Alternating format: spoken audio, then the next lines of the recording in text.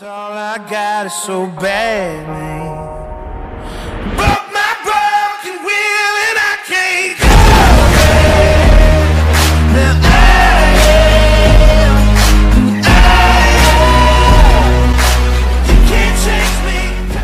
هلا والله. السلام عليكم ورحمة الله وبركاته. كيف حالكم طيبين؟ بخير مبسوطين. رجعنا لكم بمقطع جديد ومقطع Red Redemption 2 زي اللهب طبعا في هذا المقطع راح نتكلم عن أكثر شخص منحوس في عالم Red Redemption 2 صراحة الأشياء اللي صارت لهذا الشخص أشياء يعني كفيلة بأنها تقلب حياتك من السيء إلى الأسوأ.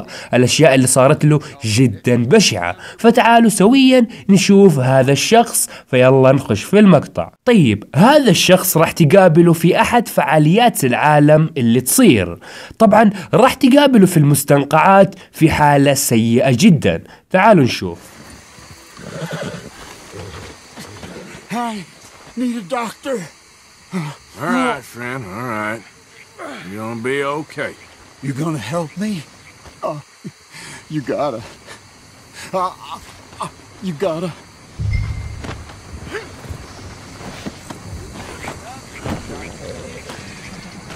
Please, do something. Try not to bleed on me. Oh. طبعا زي ما شفتوا راح يطلب منك المساعدة وراح يطلب منك إنك توديه للدكتور في مدينة السان دينيس. وفعلا آرثر مورغان راح يساعده. طبعا لو تلاحظون حالته جدا جدا سيئة ويعني مو قادر حتى يثبت في مكانه ويثبت على الحصان. طبعا الاحتمالات كثيرة جدا. ممكن يعني تسمم بشيء معين ممكن أصيب طعنة في يده لكن بما أنه كان في المستنقع الاحتمال الأقوى أنه في تمساح هاجمه وجرح يده جرح عميق جدا طبعا لما توصل للدكتور في الساندينيس هذا اللي راح يصير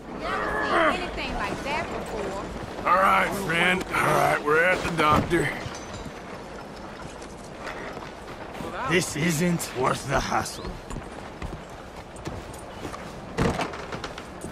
Oh, good God. Quickly, bring him in here. Right here. Sit him down in this chair. What happened? Just saw you fall out of the saddle. Don't worry, you're at the doctor. Thanks, friend. I appreciate it. Sure. There's also the matter of my payment. But we'll deal with that later. All right. All right. A lot of blood loss, and this wound's badly infected. I'll save as much as I can, but I'll have to amputate it. What? What did you say? Try to breathe. Uh, I'll give you something for the pain. No. There you are. That'll knock him out for a while. You did a good thing bringing him here. But now, I'd recommend moving along. you do not want to see this.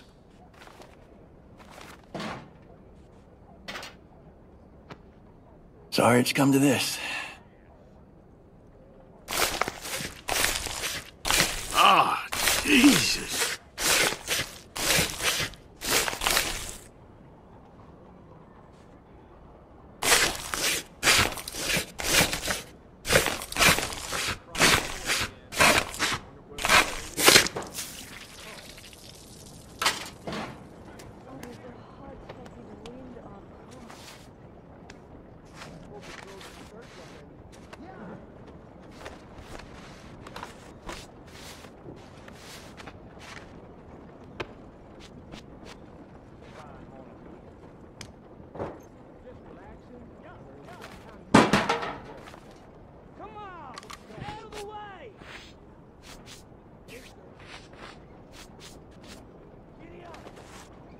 Well, you're in a bad way.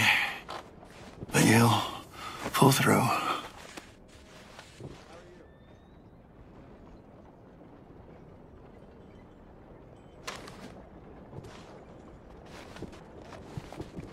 That was good work, Doctor.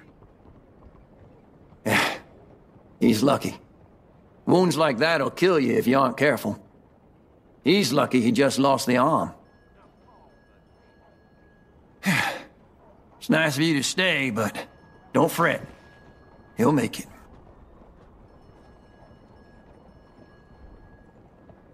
Come now.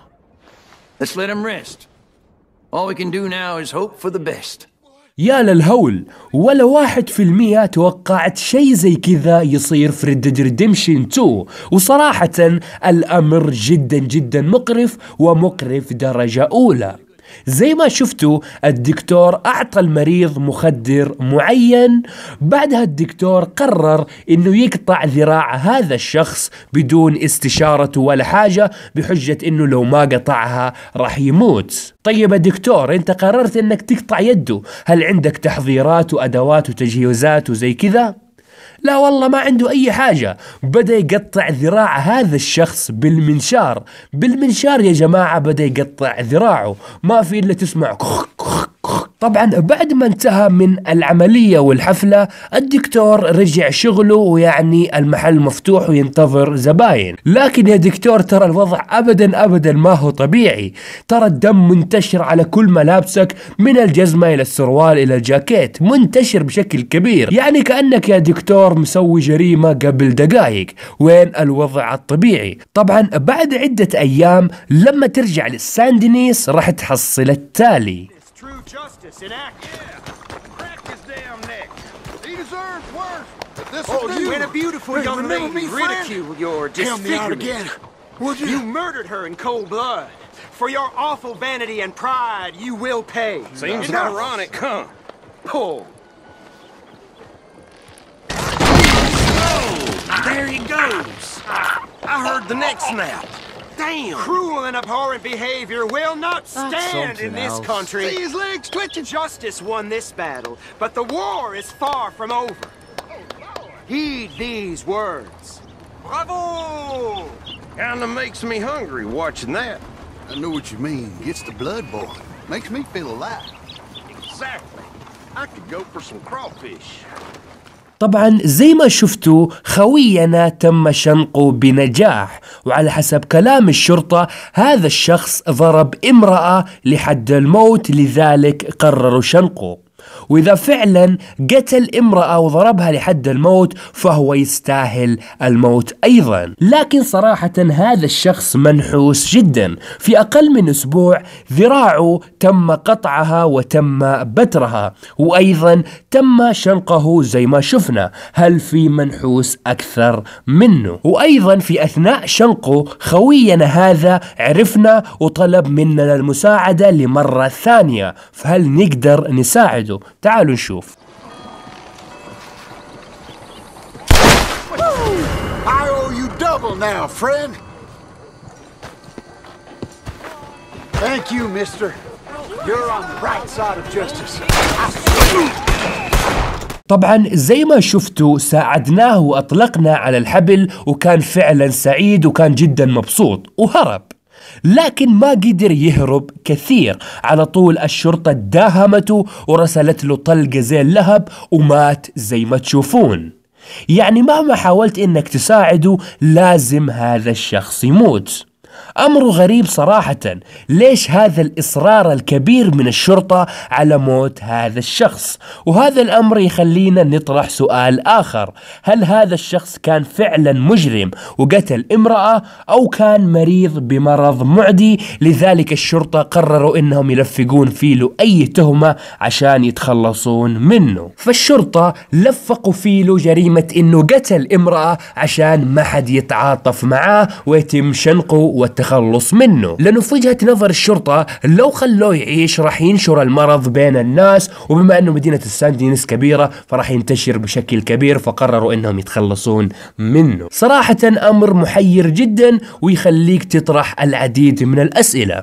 طيب يا لهبيين أبغاكم تكملون معايا اللغز عشان نقفله وننتهي. أي احتمال من الاحتمالين تحسونه صح؟ هل هو فعلا قتل امرأة لذلك تم شنقه أو إنه مصاب بمرض معدي ولفقوا فيه له تهمة عشان يتخلصون منه. أي احتمالين تشوفونه؟ الأصح. بالنسبة لي أنا صراحة أختار الثاني بسبب إصرار الشرطة على قتله. طيب بكذا وصلنا معاكم لنهاية المقطع. لا تحرمونا من ال like وال subscribe وتعليقاتكم الحلوة. حطوا like ليجيكم head الآن يدمر لكم الجبهة.